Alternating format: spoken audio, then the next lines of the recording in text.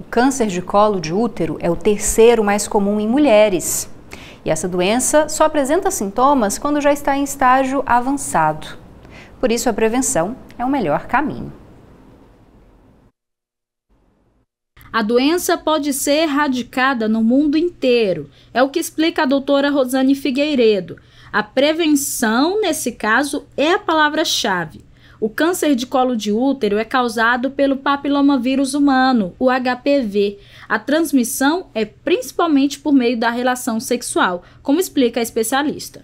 O câncer do colo do útero é um câncer passível de desaparecer, de ser erradicado, porque ele tem dois métodos muito eficazes de prevenção.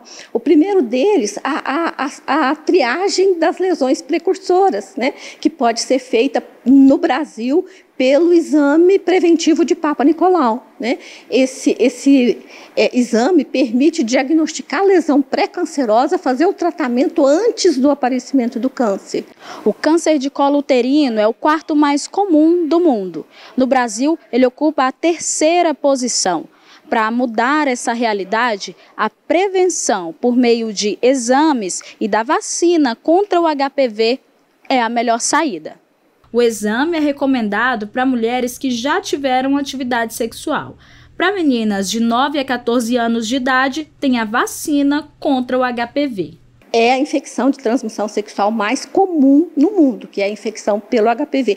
Então, tudo que está relacionado à atividade sexual é um fator de risco para o câncer. Né? Número de parceiros, é, troca recente de parceiros, não uso de preservativo, tá certo? Isso tudo possibilita a aquisição dessa infecção né, e a, a, prevenção primária por vacinas, né, como é o programa, nosso programa nacional, o programa é, é, é de vacinação é, que oferece a vacina para meninos e meninas de 9 a 14 anos de idade. Essa seria a forma mais eficiente de prevenção primária desse câncer. Bom, e destacando como a própria entrevistada disse, né, adolescentes e crianças de 9 a 14 anos, meninos e meninas. Se você for levar seu filho para vacinar contra a dengue, né, já procura saber sobre a vacina do HPV, mesmo se não tiver que fazer outra vacinação. Vacina contra o HPV é muito importante para prevenir doenças como, por exemplo, o câncer de colo de útero.